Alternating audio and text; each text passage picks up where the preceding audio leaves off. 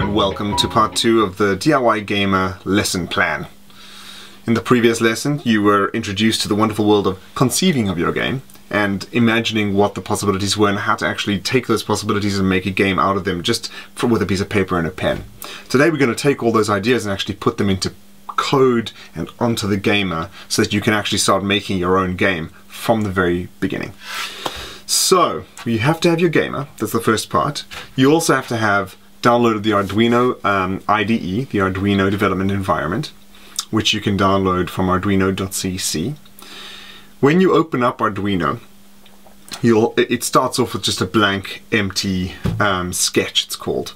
Um, what we're going to do to begin with is just sort of write up inside of the sketch exactly what we're trying to achieve over the next few classes. So, to begin with, we're going to start off with a comment. And in order to comment in Arduino or in a lot of other development environments, you have two ways. The first way is two forward slashes, and then anything you type after that will be ignored by the compiler. And the compiler is the thing that converts our language stuff into the language that the Arduino can understand. So the first comment type is the double forward slash, but the second comment type is a forward slash and a star followed by a star and a forward slash, and anything you put inside of that, it's like lots of paragraphs, is considered a comment. Now, this is what you call a block comment. What's nice about the block comment is we can then write ourselves some notes that we're going to refer back to as we develop stuff. So, what are we going to do in this lesson. The first thing is we need to actually draw something onto the screen of the Arduino, or, the screen of the DIY Gamer.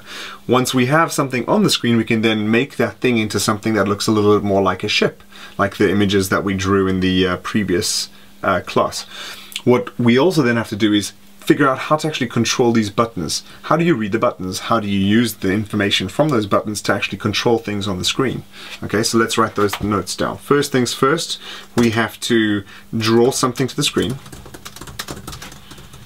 We have to um, make the thing we draw into a spaceship.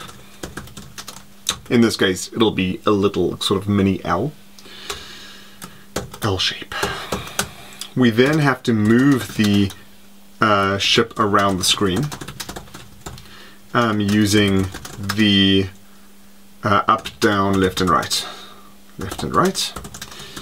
We then have to um, prevent the spaceship from going outside of the screen because what's interesting about the screen is the spaceship is it wants to go straight out of the screen if we tell it to so we have to stop that from happening which means we want to constrain it the ship within the screen.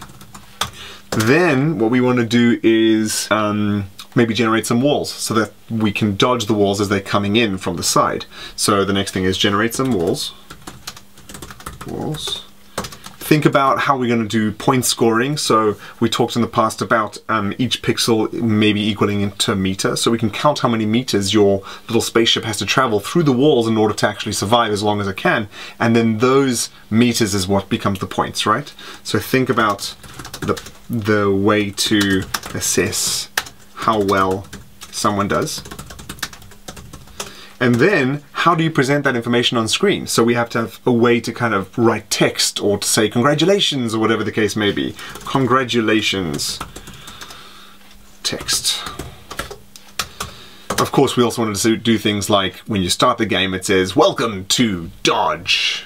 And then if there was an echo, mm. there'd be an echo. Um, you also wanted to say game over, but of course just in text. Um, other things we can do, of course, is add sound. So not only do you have the text, but you also have sound, which would be super cool. So add sound. So we've got loads of different things to do. There's going to be a couple of extra bits and bobs that we're going to add in as we go go along, but um, I think it's time for us to begin.